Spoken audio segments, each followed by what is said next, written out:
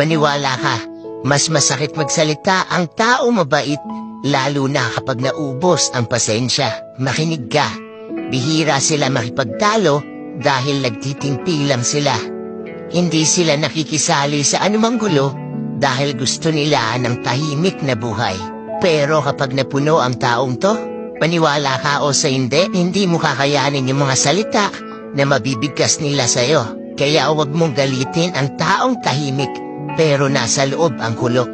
At kumukulo lang sa taong hindi ka nais-nais ang pakikitungo. Kaya huwag abusuhin ang taong mabait sa'yo. Baka di mo makayanan kapag sila ang nagalit.